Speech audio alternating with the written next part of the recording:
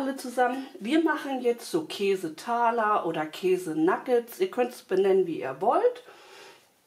Einen Schritt habe ich schon vorbereitet und zwar, dass ich einfach ein Ei getrennt habe und das Eiweiß schon mal aufgeschlagen habe, weil ich denke, ähm, selbst wenn man dabei zuguckt, kann man da nur den Fehler einfach auch machen, dass wenn man das Ei trennt, darf halt einfach nichts vom Eigelb im Eiweiß sein, sonst lässt es sich nicht aufschlagen. Ansonsten einfach das Ei gut trennen und Eiweiß aufschlagen. Dann hat man die Geschichte.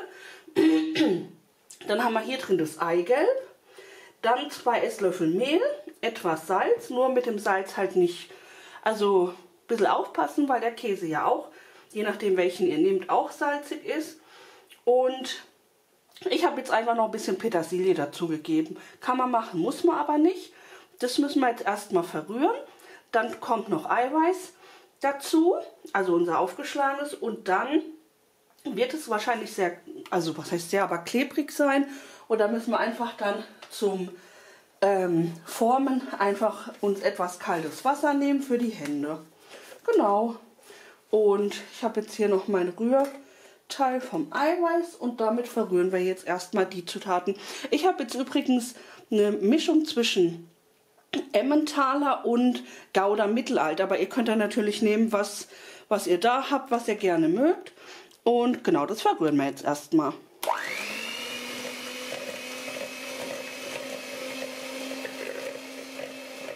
So, dann kommt unser Eiweiß jetzt dazu.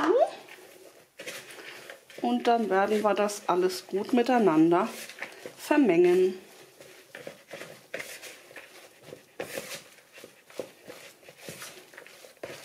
So, jetzt gibt es die Möglichkeit, dass ähm, ihr entweder das Ganze im Paniermehl wälzt oder im Mehl.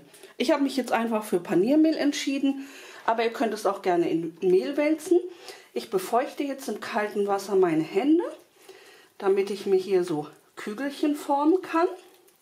Drückt es schon ein bisschen zusammen, damit es eine gewisse Bindung hat.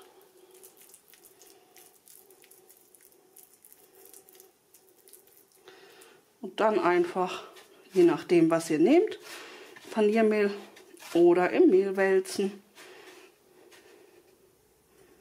So. Das machen wir jetzt, bis wir alle haben.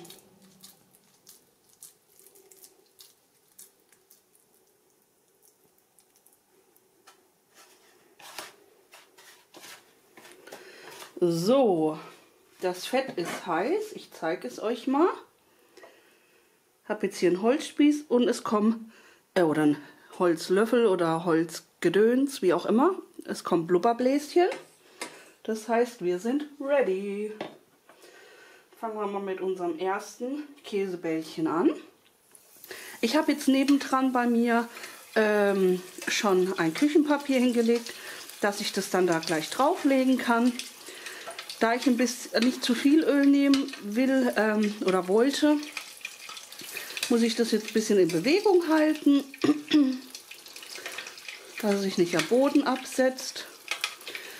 Aber ehrlich gesagt hätte ich auch nicht mehr Öl da gehabt. Aber trotzdem ist es ja auch gut, nicht mit zu viel Öl zu arbeiten. Muss man ja auch dann wieder entsorgen. Und dann lassen wir das einfach braun werden und dann abtropfen.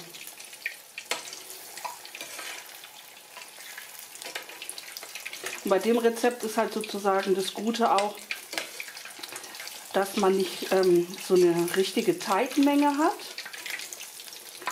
Also sozusagen, da soll ja eigentlich nur der Käse ein bisschen schmelzen drin. Und von daher kann man da jetzt auch nicht so viel falsch machen. Also ich will damit sagen, wenn man jetzt auch kein, ähm, wie heißt es, ich wollte schon sagen Fieberthermometer, wenn man kein Thermometer hat, kriegt man das trotzdem gut hin. Bei anderen Sachen ist es manchmal, gebe ich zu, ein bisschen schwieriger, dass der Teig dann innen auch richtig durch ist. Aber hier ist ja fast nur Käse drin. Und ja, den gucke ich einfach nur von außen, dass da eine schöne Bräune ist. Und dann sollte das passen. So, das sind jetzt unsere Käsenuggets oder wie ihr auch immer ihr sie nennen wollt. Ich habe jetzt hier einfach so eine ähm, süß-saure Soße. Das kennt man ja von Fastfood-Ketten bei so Nuggets, dass man da immer eine jeweilige Soße hat, die man halt mag. Können natürlich auch jegliche andere Soße nehmen. Und so sieht das Ganze von innen aus. Probiert habe ich noch nicht. Das machen wir jetzt zusammen.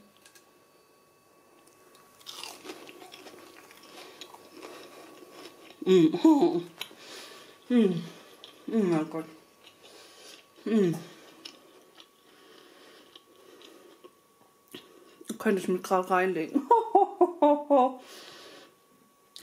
Schmeckt mega. Schmeckt mega lecker. Und wie gesagt, habt keine Angst vorm Frittieren bei diesem Rezept, weil es muss nicht mehr gemacht werden, dass der Käse schmilzt. Also da muss man wirklich keine Angst haben. Das heißt, das heißt, das Öl soll einfach heiß sein und ähm, dann ähm, geht es ratzfatz und es schmeckt traumhaft. Und wenn ich traumhaft sage, dann meine ich traumhaft. Also bitte macht's nach, lasst es euch schmecken und ich hoffe, wir sehen uns wieder beim nächsten Mal. Tschüss!